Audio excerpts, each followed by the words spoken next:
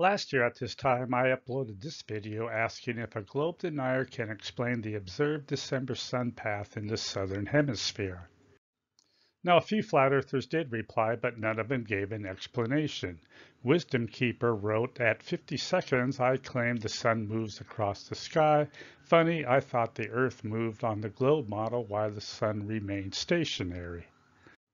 Teddy C wrote that since the sun was traveling above the negative 23rd parallel, which is the Tropic of Capricorn, he was wondering why he didn't see the New Zealand sun rise to the northeast instead of to the southeast. And of course, this is the difference between the way the sun works on both the flat earth and the globe. Exploring the plane agrees that yes, your model works well here, but of course he wants some evidence of curvature or motion, and we have a long back and forth because he is still convinced that the Earth is flat. EFG Test thought that my video raised some interesting questions, but he also made the point that I had to express some mockery at the end when I said ignorance is bliss when it comes to flat earth beliefs because flat earthers need to ignore reality but he still was not able to explain this sun path on a flat Earth. The following is a repeat of my upload from last year with a few small changes. Now we all know that flat earthers still haven't given a logical explanation for sunrise and sunset on the equinox, but today I'm going to take a look at December solstice sun observations in the southern hemisphere that make absolutely no sense at all on the flat earth model. It would also be interesting to hear why Flatzoid thinks the sun path that he sees from South Africa is the flatter sun going around the North Pole. Now during the December solstice, everybody sees the sunrise in the southeast and set in the southwest.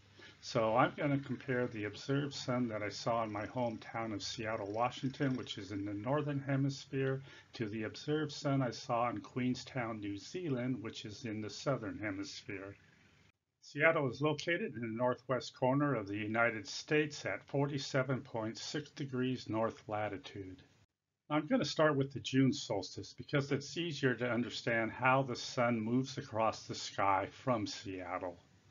And I'm using this graphic from suncalc.org because it shows exactly what I see when I'm in Seattle. So sunrise is to the northeast at 5:11 a.m and the rising sun moves to your right and is to the south of you at solar noon. And it continues moving to your right to set in the northwest at 9:11 p.m.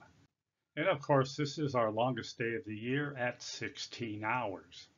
Now after sunset, it is the northwest horizon that is lit during dusk, and the sun continues on a path below the northern horizon to the east where at dawn it lights the northeast horizon before sunrise. Now this is the sun path that is the basis of the flat earth model because at night it appears to go around the North Pole. Now during the December solstice, of course, the sun is observed rising towards the southeast.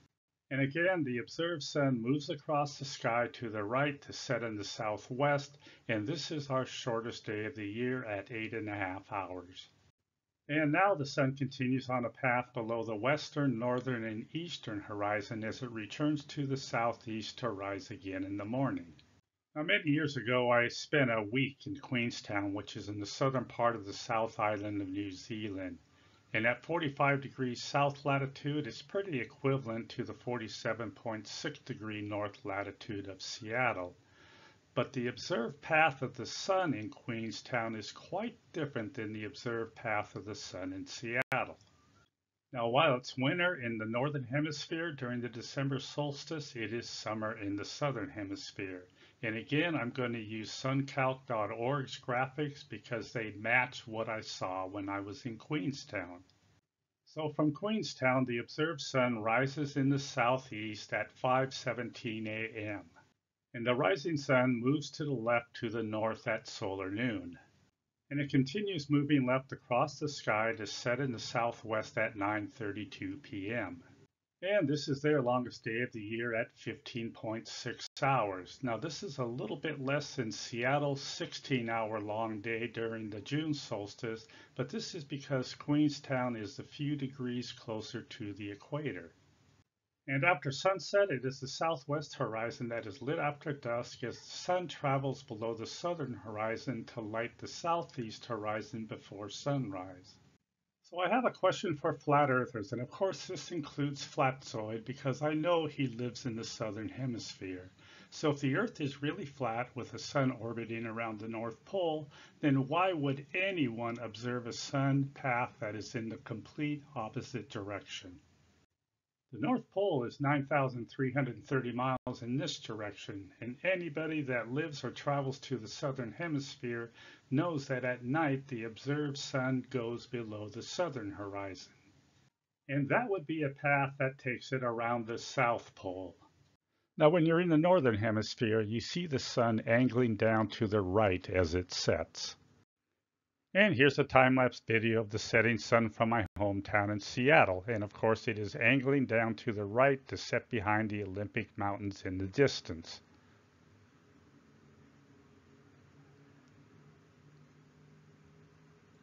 Now in the southern hemisphere, the setting sun angles down to the left. And of course, this is in the complete opposite direction of the observed setting sun in the northern hemisphere.